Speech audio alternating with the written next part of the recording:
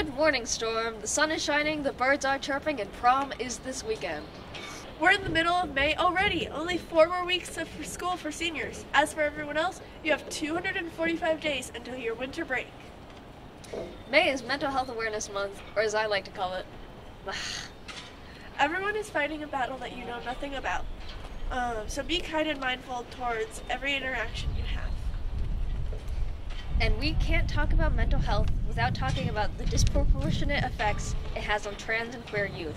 Between 36 and 50% of trans people experience suicidal ideation, which we have the power to change if we legitimately change our attitudes towards acceptance and destigmatize the re- reality that we don't live in the cis heteronormative world that we've been conditioned in. A small group in Squalicum's ethnic studies class is putting together a research project to try to raise, raise awareness to this and enact positive change and create a welcoming environment for queer people around our school.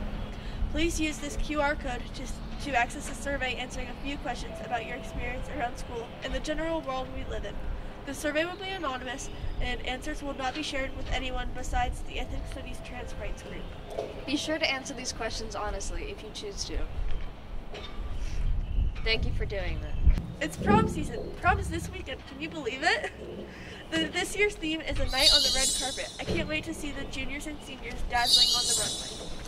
The dance will be held at Depot Market Square on 1100 Railroad Avenue. It will be from 8:30 to 10:30. Be sure to grab your ticket. What's your name? Kenzie, What will you be wearing to this prom? a green dress, What about the shoes? white, sparkly white. Yo, I actually got fitted up. I got a little black thingy with a pink vest with a pink tie. Yeah. Who are you going to prom with? You already know. I already know. What will you be wearing to prom this year? Um, a dress, a really pretty sparkly dress. What color? Um, it's like a nude color dress. What are you guys wearing to prom this year? right now. What I'm wearing right now. Sorry. bombastic side eye. What about you? Uh, I guess I'm wearing a suit. That's it. Just a plain suit? Yep, just a black one then. Catch me in a turtleneck. Criminal offensive side eye. Mr. Howard, Yes. what are you wearing for prom? The same tux I wore in 1981. Thank you. What do you think about the theme for prom? It's way better than the Tolo theme, bro. Oh yeah, the Tolo theme. Oh, we can't say that. We can't, we can't oh. call it Tolo. Yellow! Yellow, yellow. Beep beep. There's no school this this Friday. Yay! Thursday and Friday are also the days of our one act plays in the forum. I for sure have heard everyone buzzing about this, these acts. I'm excited.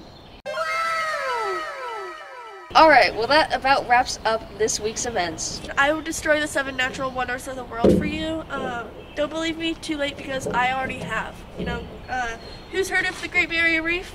Yeah, barrier, I hardly know her. Okay, bye bye, mic drop. Disrespectfully visits the grave of Ronald Reagan. Pulls on a fire alarm and then runs out the building, leaving a shattered wine glass in my wake. And I am out.